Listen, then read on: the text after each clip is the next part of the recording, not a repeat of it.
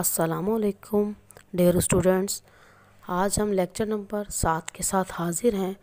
आज हम कायदे का सबक नंबर तेरह और चौदह पढ़ेंगे, जो कि सफ़ा नंबर इक्कीस और बाईस पर है। चलें शुरू करते हैं।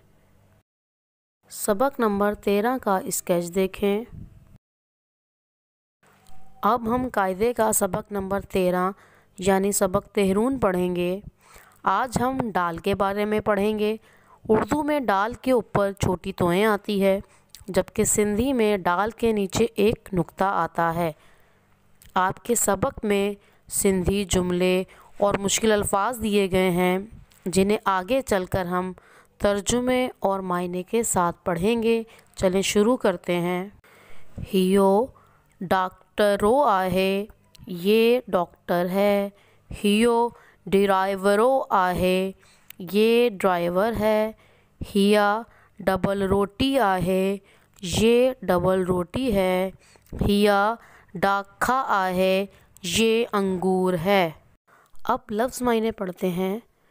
डेल, मोरनी डब घास, डोर, दौड़ डिघो लंबा, डखणो बढ़ई, डगड़ो, मोटी रोटी, डहो, गिर्द, डंबो, मेंढा, खजिया जो वण, खजूर का दरख्त, डिघो, लंबा, थींदो आहे, होता है।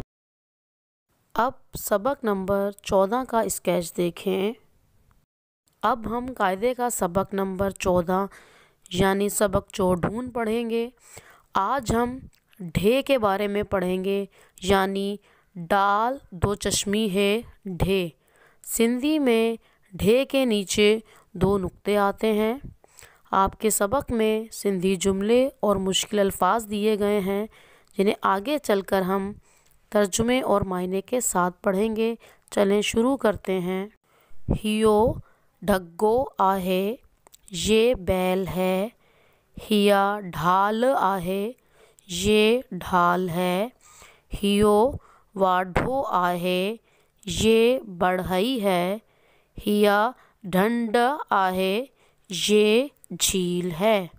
लफ्ज़ मायने पढ़ते हैं ढोरो जानवर, ढरो, सुस्त, ढेरो, ढेर ज़मीन जी ढल, ज़मीन की लगान, खीर जो ढुक्को, दूध का घूंट, हिक्को ढक्को, एक ढकना, हिक्का रिढ़, एक भेड़, हिक्का ढंड, एक झील।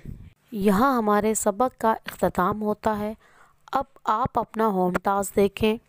Read lesson number thirteen and fourteen and do practice of words meaning and translation in the A R आपको सबक नंबर तेरह और चौदह की रीडिंग करनी है और लफ्ज़ मायने और तर्जुमे की ए आर में प्रैक्टिस करनी है। डेयर स्टूडेंट्स अब नए लेक्चर के साथ हाज़िर होंगे। जब तक के लिए अल्लाह हाफिज़।